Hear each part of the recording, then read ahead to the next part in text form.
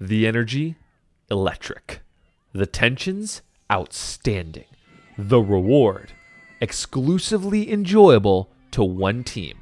Wellington versus Fort Pierce Central for a trip to Tampa in the state semifinals. And shout out to the Cobra Boys football team for showing up to the crib to support their crew.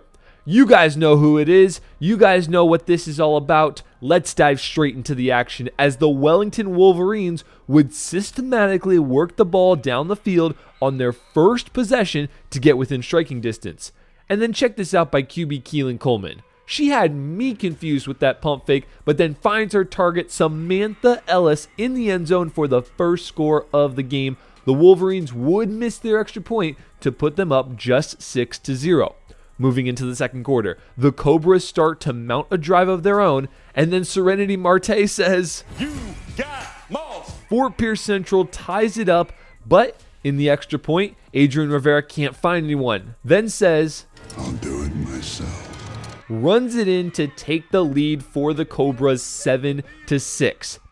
Into halftime and for all of the third quarter, defense dominated. We saw big time sacks and batted balls from T Chance for Central, but the real matchup was on the outside between Marte and Angelia Bystrong. And after the first touchdown, Bystrong was giving up nothing for the rest of the game to the middle of the fourth quarter. Wellington forces a three and out from Central to take over in their own territory.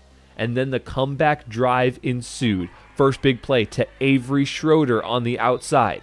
Next up, Coleman finds Jordan Fernandez over the middle for a big gain.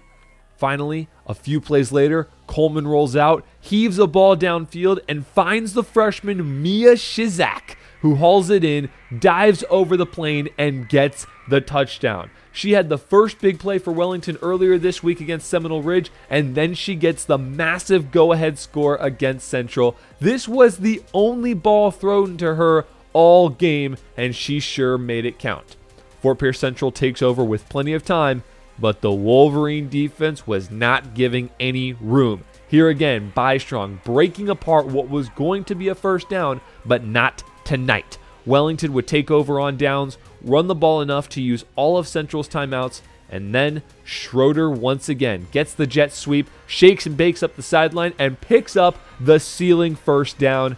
And I truly cannot call the winning moment better than the Wellington assistant head coach.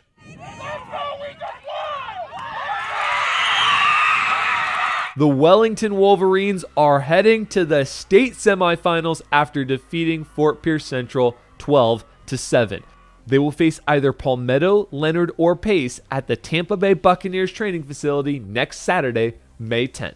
Here's the Wolverines head coach Robert Colovi attempting to put his emotions into words. It's been a lot of hard work for me, from the girls, from everyone involved, and it's it's it's surreal that it's it's all of that work has finally come together. I'm just excited that we got another week together. It's a group I, I, I adore spending time with, and they make the job fun. Um, so I'm just excited I got another week with them. Shout out to Duffy's Sports Grill for sponsoring this video. Duffy's, our game is always on.